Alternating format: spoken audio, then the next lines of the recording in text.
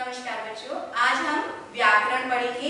व्याकरण की पुस्तक कौन सी है आपकी? स्पाइरल हिंदी स्पाइरल निकालिए और उसमें चैप्टर निकालिए, विराम चिन्ह। क्या समझेंगे हम? विराम चिन्ह। विराम चिन्ह किसे कहते हैं? कोई बताएगा मुझे?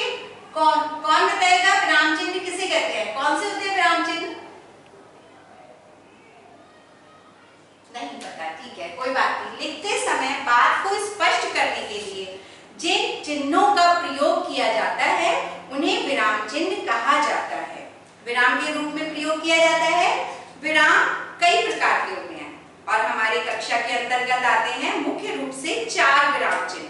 कौन कौन से आते हैं? जैसे पूर्ण विराम। यह वाक्य की समाप्ति पर लगाया जाता है। ठीक है ना? साधारण वाक्य की समाप्ति पर लगाया जाता है। वैद्य दवाई बना रहे हैं। बना रही हैं के बाद क्या लगाया गया है? पूर्ण विराम। अल्प विराम किसे कहते हैं? अथवा किसी कारण बहुत थोड़ा रुकना पड़ जाता है, वहाँ पर अल्प विराम का प्रयोग किया जाता है। जैसे हम कई नाम बोलते हैं ना, राम अल्प विराम श्याम, मोहन और कमल विद्यालय जा रहे हैं। ठीक है? यहाँ पर हमने क्या किया? अल्प विराम का प्रयोग।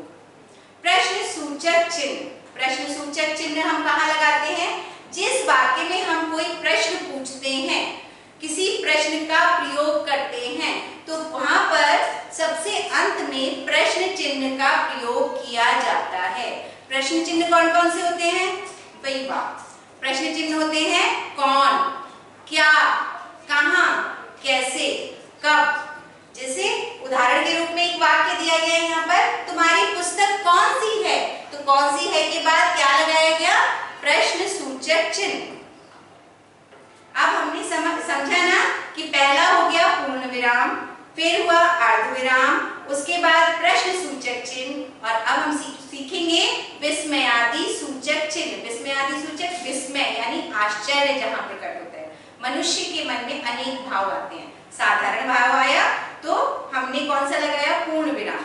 प्रश्न आया, प्रश्न का भाव आया तो हमने प्रश्नवाचक चिन्ह लगाया। अगर आया विस्मय, आश्चर्य का भाव आया, जिसमें आश्चर्य के भाव में खुशी का भाव, दुख, घृणा, ये सारे भाव आते हैं उसमें लास्ट में हम क्या लगाते हैं? अंत में विस्मयादिक सूचक चिन्ह का प्रयोग किया जाता है। जैसे, अरे, तुम आ गए? ओह, मेरे पैर में चोट लग गई है। तो ये सारे वाक्य किसके उदाहरण हैं? विस्मयादि सूचक चिन्ह की। तो बच्चों, समझ में आया कि हमने आज पढ़े हैं विराम चिन्ह।